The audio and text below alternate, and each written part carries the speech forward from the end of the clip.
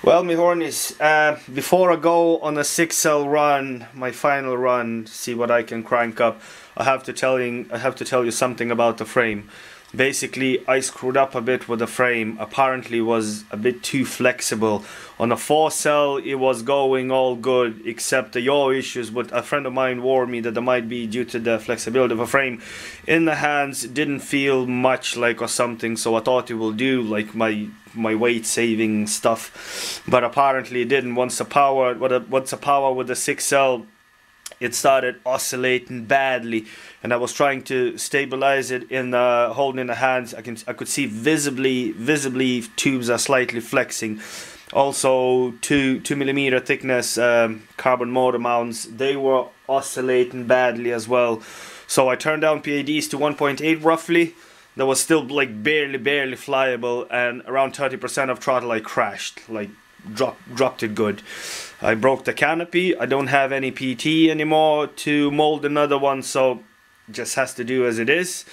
Uh, I doubled the motor mount here with fiberglass and there's a 8 mil carbon tube as well. Now it's now it's rock solid. So as you can see my weight saving goes out the window aerodynamics goes out the window uh, and whatever I can crank it up uh, from this one it'll do and basically for my next build I will know what to do and what not to do not to screw up again.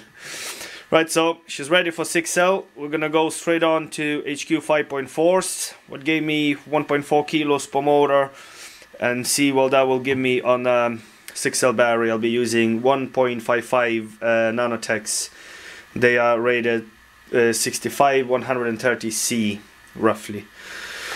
Whew, scary stuff. Right, so I'll see you at the field. Okay, more 6L test. HQ 5.4 props didn't do me well. I could hear the motor screaming and getting a full RPMs, but I still didn't get the thrust that I wanted. It was actually slower than a 4Cell. Right, let's start logging.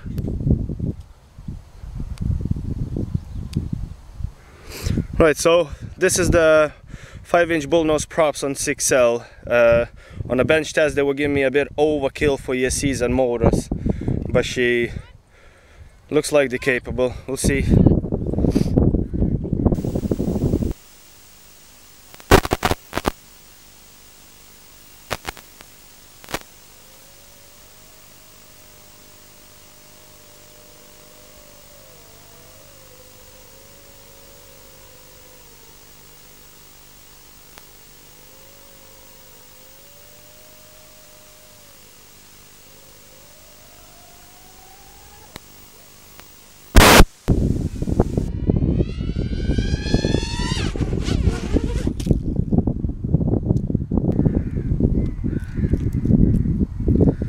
Well, found my copter scattered at the field uh, with bits and pieces, lost the cam somewhere.